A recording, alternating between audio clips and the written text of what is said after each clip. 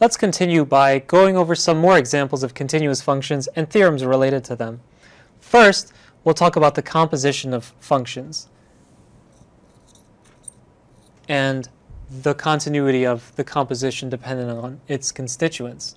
So uh, again, I'd rather not put all the um, the assumptions out. I think you can write down the assumptions for yourself. But if I have a function from A to B, and then it lands in R M, so here I have F, G, and suppose, so all of these are domains in some Euclidean space, and suppose that F is continuous at C in A, and suppose that G is continuous at f of C, which is in B. Then, if I take the composition, then that composition, which is a function from A to Rm, is also continuous at C. And you may have seen a proof of this um, in analysis 1, so I'll leave that one to you as an exercise. What you may have not seen in analysis 1 is when I take functions into a larger domain, how is the continuity of such functions related to the continuity of the component functions? And this theorem is incredibly important for studying functions of many variables. So a function f, let's say uh, from a to r m is continuous at c, which is in the domain A.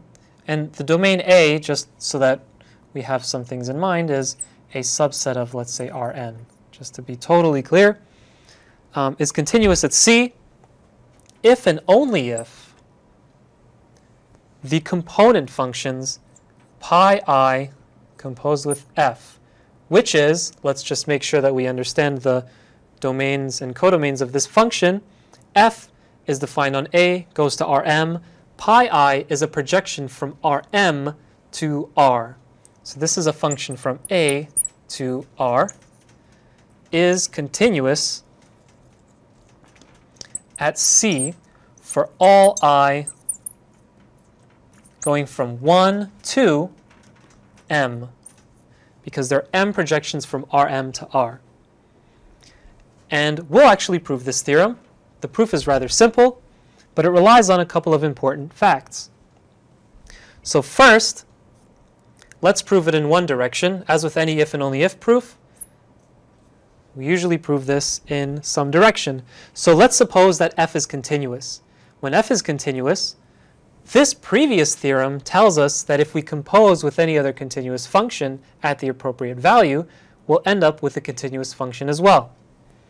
So because, so by previous theorem, pi i is continuous from the earlier, even before this theorem we had, we proved that the projections are continuous.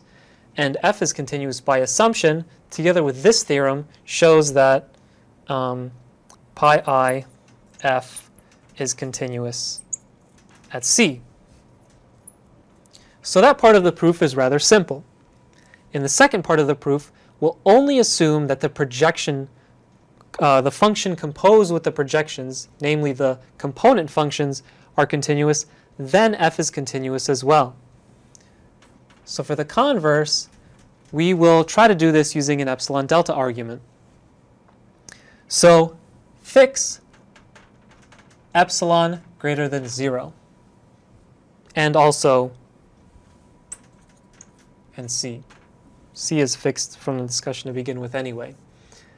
Um, so now, then, we assume that the component functions are continuous.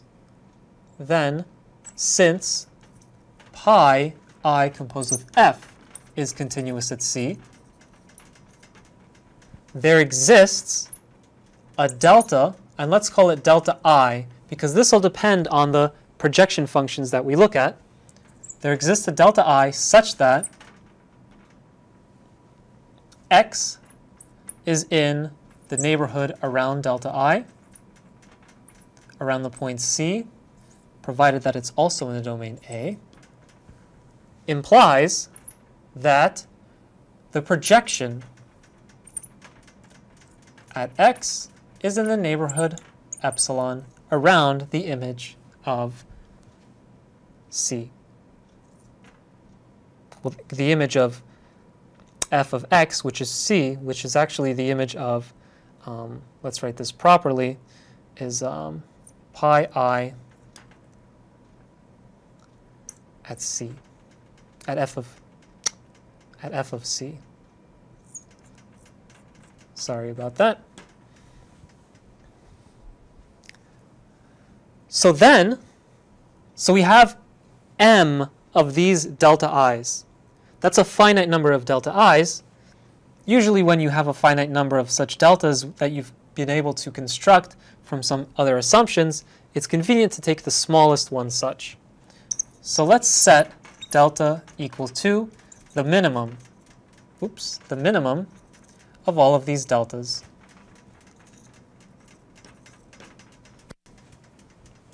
Then you can check that this actually works.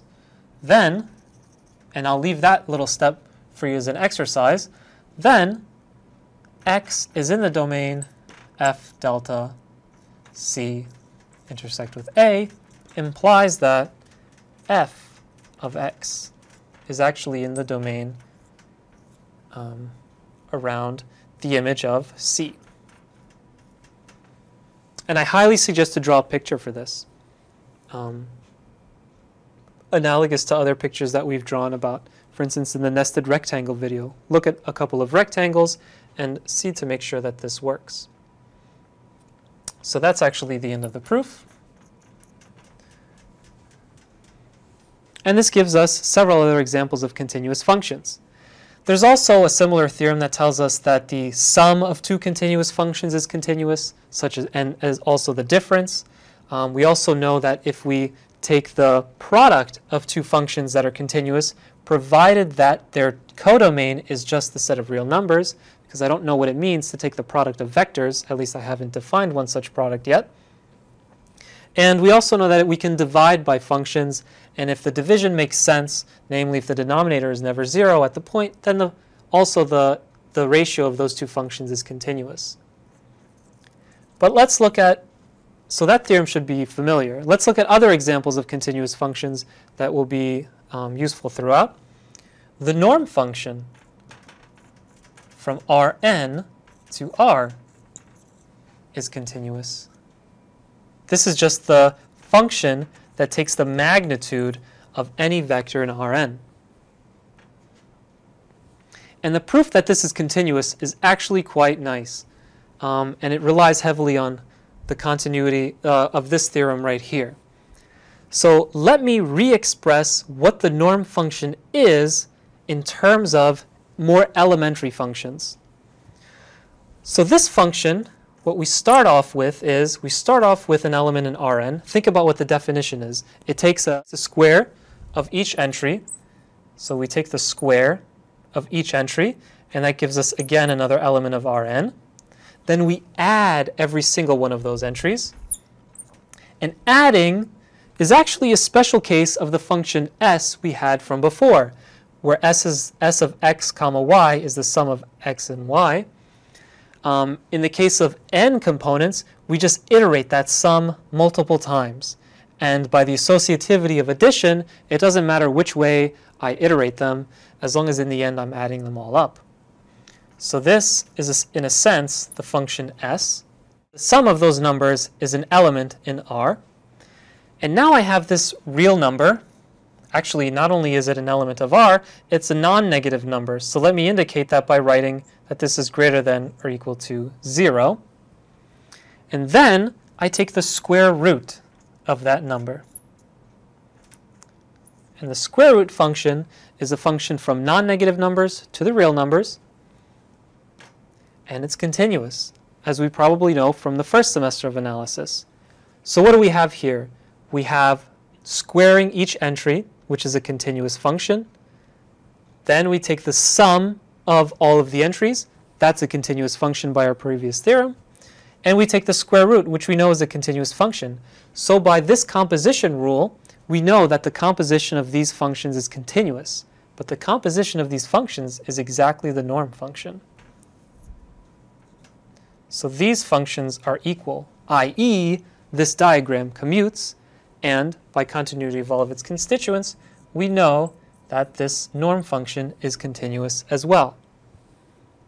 There are lots of other examples of continuous functions, such as taking the inner product of two elements, and I'll leave that to you as an exercise, and the proof is somewhere along the lines similar to this one.